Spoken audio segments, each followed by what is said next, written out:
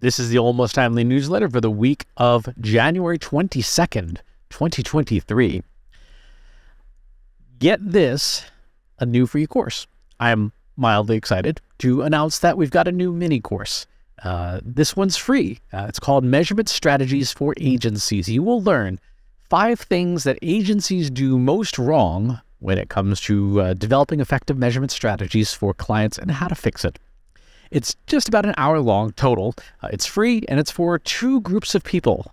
One, people who work at agencies, so you get better at measurement. And two, people who hire agencies, so you know what to ask for in your reports from your agencies. Link in the newsletter, go check it out. What's on my mind this week? AI creation versus refinement.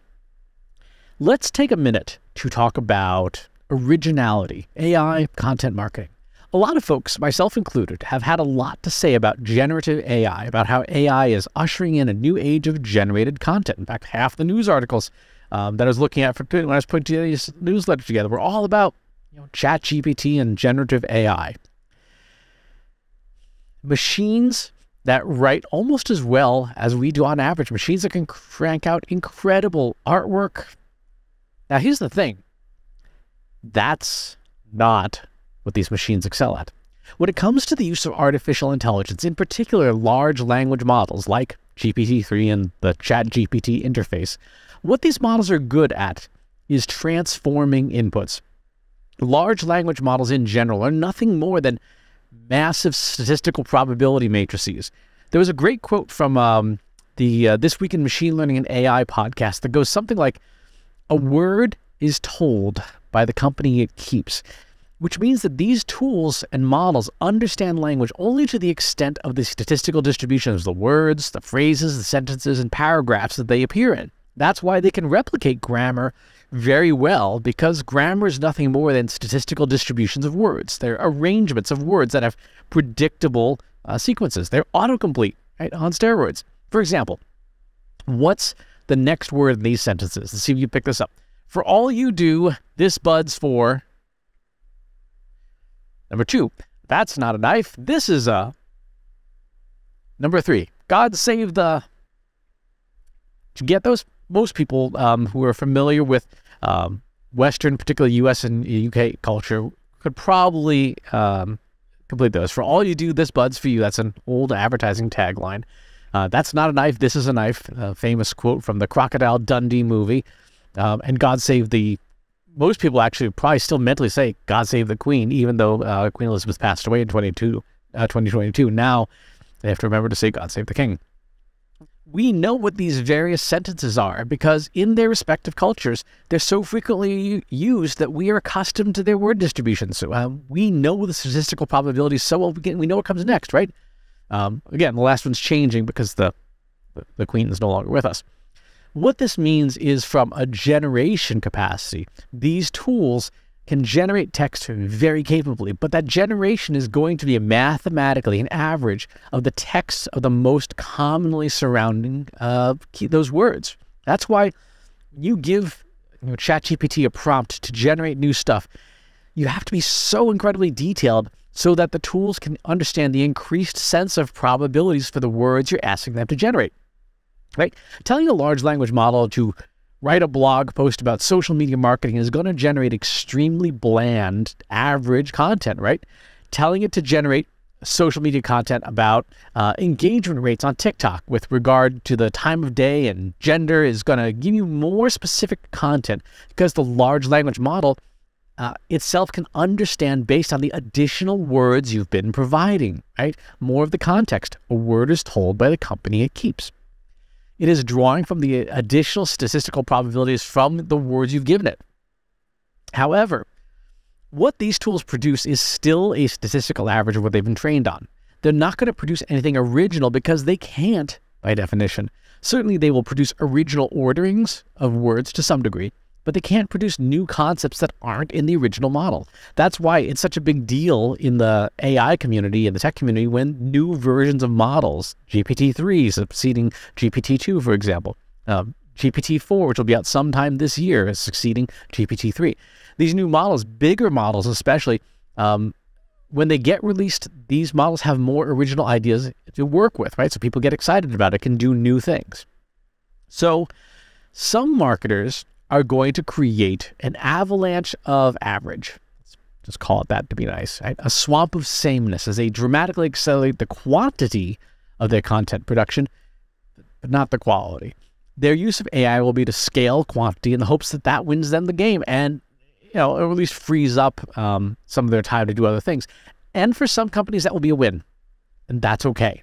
Right? If your company blog is atrocious now or non-existent now, then yeah, a completely machine generated blog of mediocrity will be a giant upgrade for your company. It's a huge leap forward from from you suck to eh, right? now, what if you don't want average, right? What if you aspire to more than mediocrity? What role do these tools play? People have a very almost binary perspective on these tools. Either you use them and you're, you're everything's by, done by machine, or you have only truly organic, artisanal, handcrafted, small batch content, right? And as not an either or, right? This is the part that everybody's overlooking. These tools are better at refining than they are creating, and that is the secret. That is the secret we need to unlock their power because these models, their tactical name is really transformers, right? Not not the 80s toy. Um, they are adept at taking inputs and transforming them into outputs. Because of that, they are actually better at refining text than they are creating it. About a third of this article, um, the first third, was written with the help of ChatGPT, but it's not what you think. It wasn't, I didn't give it directions to have it write something new. Instead, I gave it my words. It took my words and just cleaned them up. Here's how. On my phone, uh, while I was waiting to pick up my kid from art class, I recorded about five minutes of me talking right, and fed it to Otter, the AI transcription service. And we know, you know, Otter does a capable job of, of transcribing, but all kinds of weirdness creep up in our language as we talk that isn't in our writing. So I took that and fed it to ChatGPT and I told it, rewrite this text using correct grammar, spelling, punctuation, and formatting for readability. And it did. It created, you know, the, a few paragraphs in this newsletter. But it's my stuff, right? Is what you're reading my words? What, uh, what I'm reading out loud to you, my words? Yes, these are my words, but changed from one medium to the next and cleaned up. My words were transformed by the GPT model, which stands for Generative Pre-trained Transformer, into text that's almost exactly what I said originally, minus some things that weren't particularly helpful, you know, ums and ahs and, and stuff like that. That is what these tools excel at. Taking data and transforming it, rearranging it, making it more useful this preserves our originality as people, our ideas, our language, while improving the quality, and that's what they're best at. Because they're not relying on a gigantic average of all the content that they were uh, trained on that they've ingested, because they're using our own words and just cleaning up or rephrasing, they perform great and they keep the spirit of what we're trying to say. They preserve our originality. It's not either use AI or don't. It's use AI to improve you. Right? There was a great story on BuzzFeed about an AI app uh, made for a contractor who's dyslexic, helping refine the inputs into better quality outputs. So you know the the, the person would uh, write out a, a, sentence that was very terse um, and and had you know spelling errors and stuff like that, and it and the using a large language model, it refined it into high quality outputs. We can even use these tools to ingest multiple different voices, multiple different texts to create something useful from the original inputs. My martial arts teacher, Mark Davis, over at the Boston Martial Arts Center, has said it's challenging, you know, particularly as a small business owner, but it's challenging to sometimes create social media copy that resonates with audiences.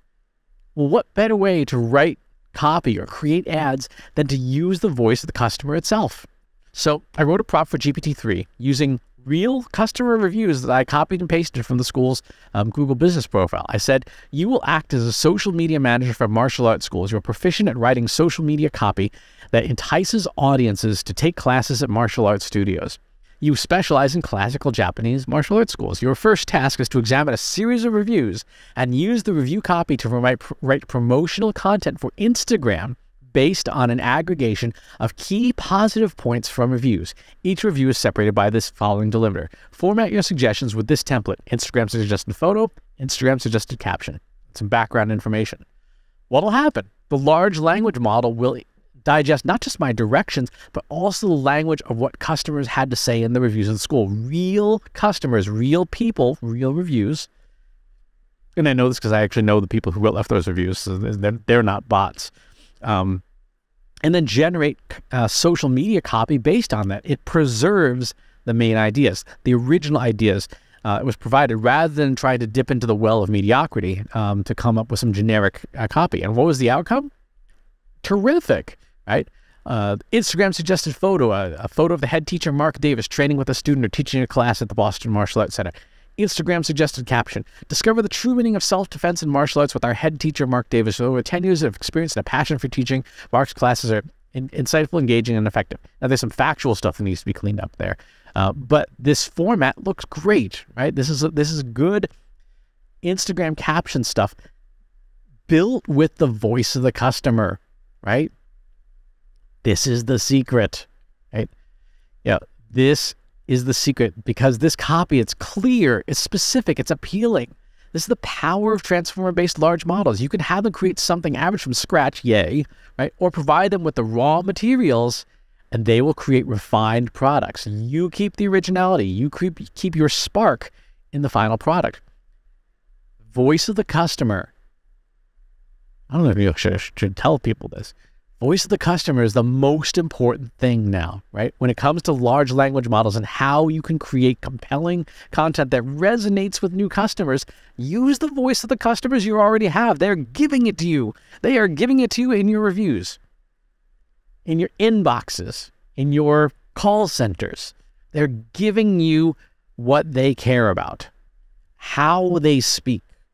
And now you can use these large language models to synthesize that all together into new content that will resonate with people because it's using the language that they're going to use too.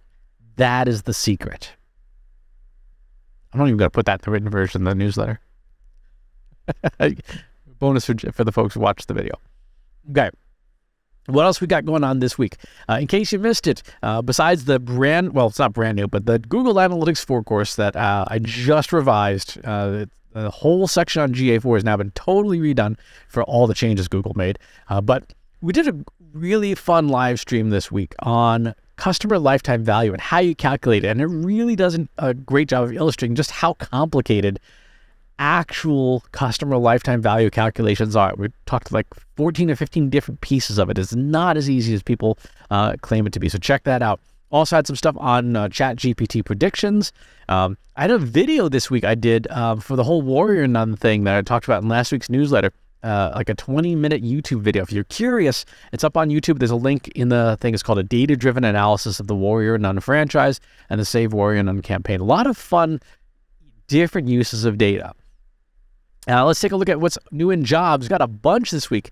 Digital analytics developer at VMware, digital analytics lead at Fonterra, digital marketing manager crossover, digital marketing strategist at Ouda, uh, digital, no, director of brand messaging strategy at Giddy, director of demand generation, at EnergySage, executive director of marketing technology at Orvian Global, global marketing manager at Valco Melton, head of content and social media at the Museum of Ice Cream. Uh, that's got to be a fun one.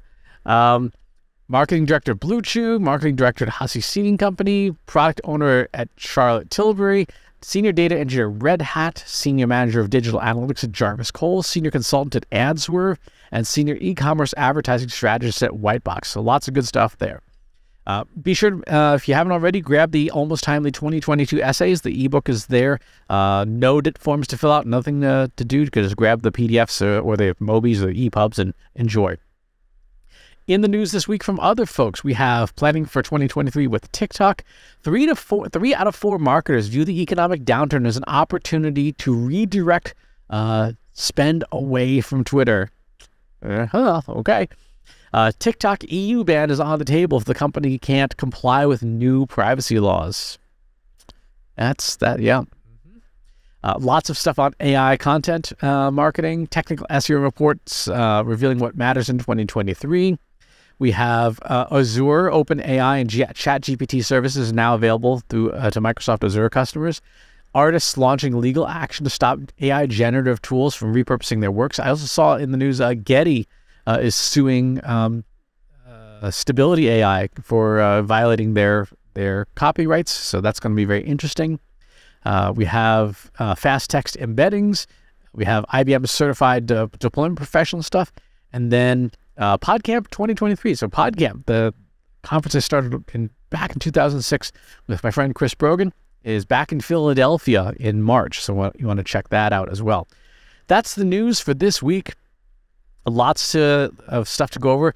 Take take these tips, particularly around generative AI and, and large language models, take them and use them use them, do some cool stuff with them. Thanks for tuning in. I'll talk to you next time.